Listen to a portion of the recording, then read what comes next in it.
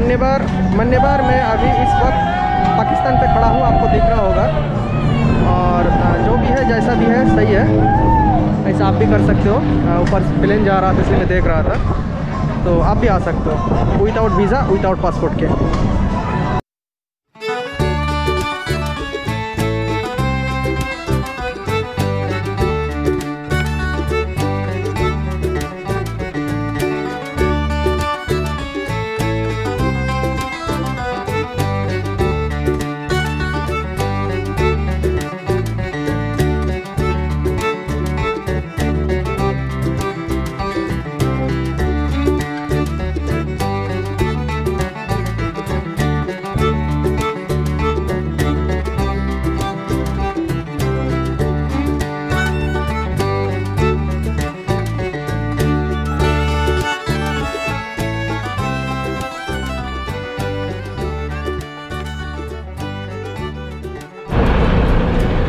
तो जनाब मैं फाइनली पहुँच गया हूँ ग्लोबल विलेज और ये है बस नंबर 102 अ, जो कि मुझे आते ही मिल गया था गेट नंबर फाइव पे।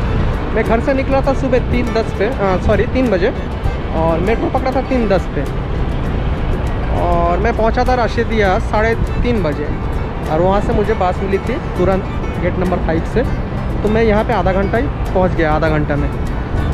तो सफ़र बहुत अच्छा रहा। अब मुझे टिकट लेना है जो टिकट है पंद्रह दिराम की। टिकट लेके मुझे अंदर एंट्री करना है। तो चलिए दोस्तों अंदर चलते हैं और बताते हैं आपको क्या हिसाब किताब है अंदर की।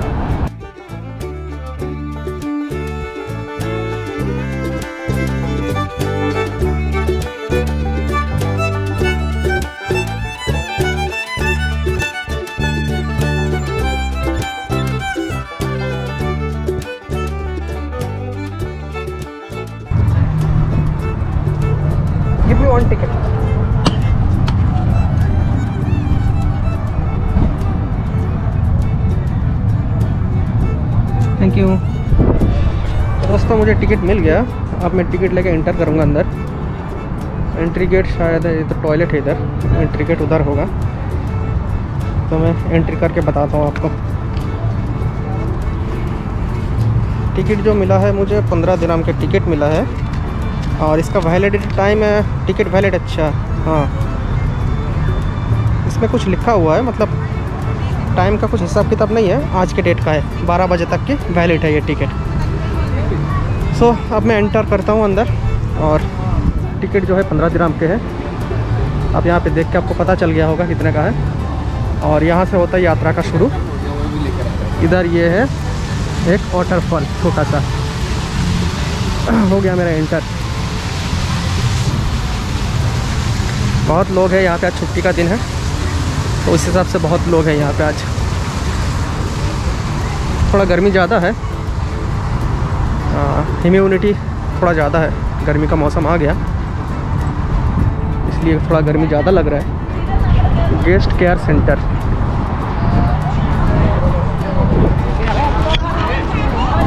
thank you सब हो गया मेरा एंटर अब देखो नज़ारा यहाँ के।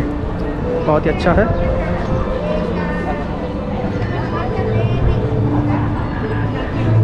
चलिए, मैं पहले एक बार देख लेता हूँ, उसके बाद आप लोगों को दिखाता हूँ।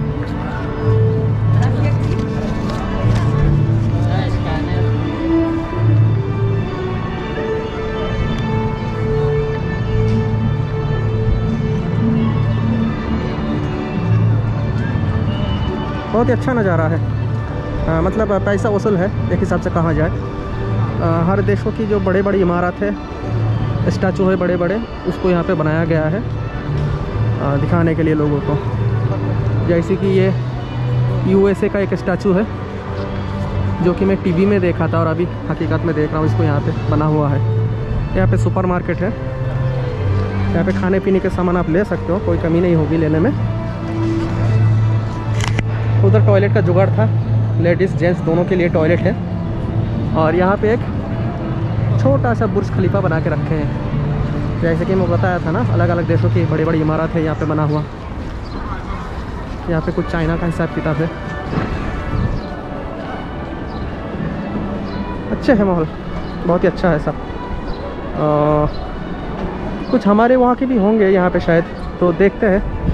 इंडिया या पाकिस्तान का कुछ हिसाब किताब है क्या नहीं यहाँ पे? और बताते हैं आपको।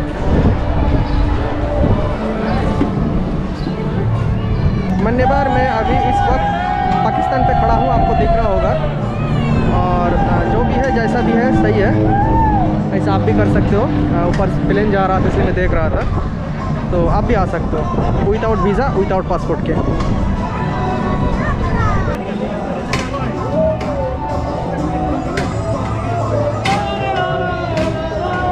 एक दिन में घूमने के लिए बहुत टाइम कम पड़ जाता है।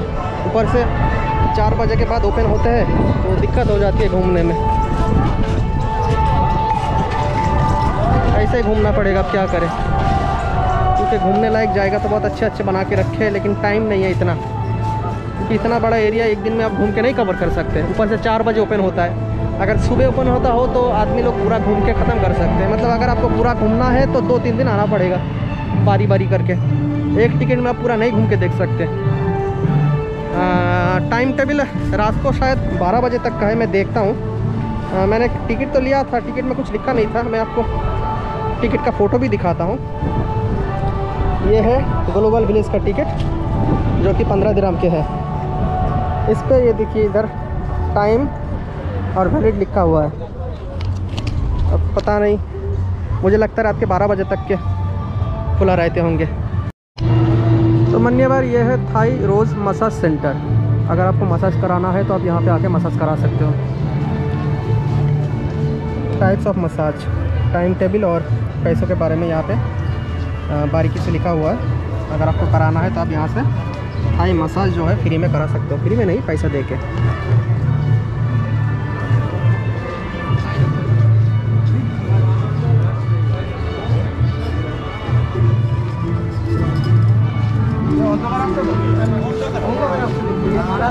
बहुत ही अच्छा लग रहा है शुरुआती दौर पे, और पता नहीं, चलता हूँ और आगे आगे देखता हूँ कैसा लगता है।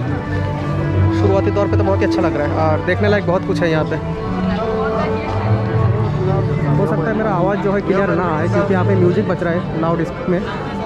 तो जितना हो सके मैं समझाने की कोशिश करूँगा तेज़ बता के।